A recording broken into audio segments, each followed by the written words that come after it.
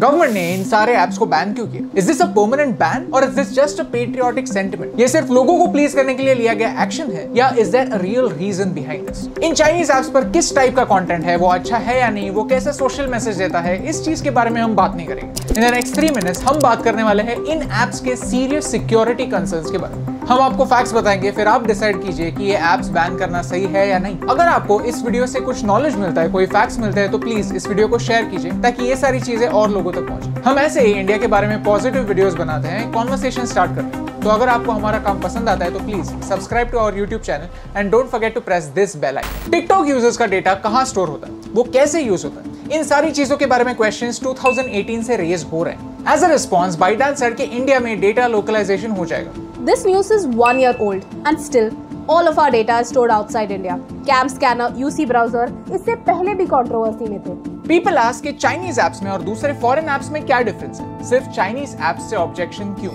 Let's go back to 2017 जब China ने national intelligence law बनाया China's National Intelligence Law from 2017 requires organizations and citizens to support, assist and cooperate with state intelligence work. What it means is this.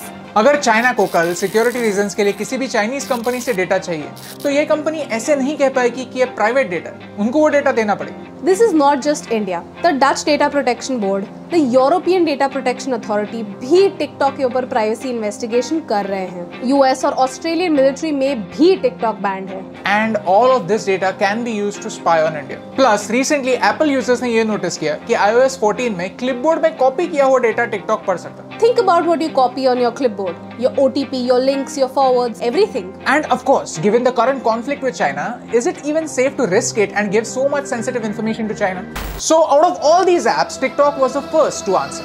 TikTok says TikTok ने internet को democratize किया मुझे personally इस statement से problem है क्योंकि ये काफी बड़ा स्टेटमेंट है बट क्या ये सच है Democracy gives you freedom. Democracy gives you a choice. Democracy is controlled by the people. TikTok खुद डिसाइड करता है कि आपको क्या देखना चाहिए आप वीडियोस के लिए सर्च नहीं करते एल्गोरिथम आपको बताता है कि ये वीडियो देखो एंड मोस्ट इंपॉर्टेंटली ये वीडियोस मत देखो। A creator name Saloni Gaur had made a comedy video about China and this video was deleted why क्योंकि वो वीडियो चाइना को क्रिटिसाइज कर रहा how is this democratic TikTok आपका रीजनल डेटा आपके सिम कार्ड से या फिर आपके आईपी एड्रेस से लेता है। वो भी आपकी परमिशन के बिना। गूगल मैप्स और आरोग्य सेतु जैसे एप्स भी आपके परमिशन के बिना आपके लोकेशन ऑन नहीं कर सकते, आपका डेटा नहीं ले सकते। लेकिन टिकटॉक ले सकता आपकी परमिशन के बिना आपके रीजनल डेटा लेना how is it democratic ByteDance या किसी भी चाइनीज़ कंपनी के चाइनीज़ कम्युनिस्ट पार्टी से कनेक्शन होते हैं। इसके बारे में कंसर्न ऑस्ट्रेलियन रिसर्चर्स ने भी रेज किया पॉलिटिक्स और बिज़नेस को मिक्स करना। हाउ इज़ दिस डेमोक्रेटिक कहने के लिए एक क्रिएटर्स का ऐप है लेकिन एक्चुअली एल्गोरिथम इसे कंप्लीटली कंट्रोल करता है। ये डेमोक्रेसी नहीं मिलोड ये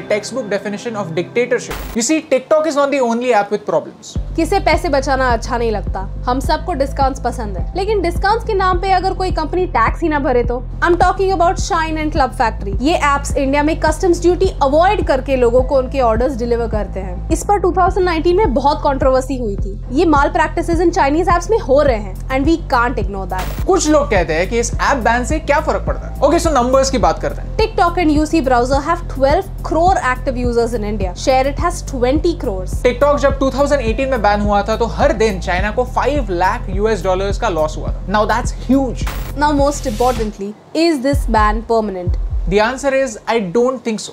If data privacy is the only reason then जो काम एक साल से पेंडिंग था वो अगले कुछ वीक्स में हो जाएगा। The apps that have so much money and power to delete millions of one-star reviews to improve their ratings will hire the best lawyers to get them back on track. But China का ये law जिसकी वजह से Huawei US में ban हो गई थी ये लॉ कोई चेंज नहीं करेगा। चाइना को कोई भी एक्शन लेने पर मजबूर नहीं करेगा। That's the tragedy over here we want to suggest a real solution from our side China में किसी भी बाहर की कंपनी को ऑपरेट करने के लिए किसी चाइनीज़ कंपनी के साथ जॉइंट वेंचर करना पड़ता है। Blue Hole Corporation, the company that owns PUBG, the PC game, had to do a joint venture with Tencent, a Chinese company, to launch PUBG Mobile in China. Same rules India में भी होने चाहिए अगर आपको India में operate करना है तो हमारे प्रिंसिपल्स पर ऑपरेट करना पड़ेगा इंडिया के किसी मेजर टेक कंपनी के साथ आपको जॉइंट वेंचर करना पड़ेगा। आपका सारा डेटा इंडिया में ही रखना पड़ेगा। एंड मोस्ट इंपॉर्टेंटली आपकी लॉयल्टीज चाइना से नहीं, आपके कस्टमर से है, ये प्रूव करना पड़ेगा। India needs to push for a strong data protection bill so if you agree with us please share this video क्योंकि ये मैसेज ज़्यादा से ज़्यादा लोगों तक पहुँचना ज़रूरी है। इन एप्स को बैन करना हमारी स्ट्रेटेजी की शुरुआत है दी एंड नहीं।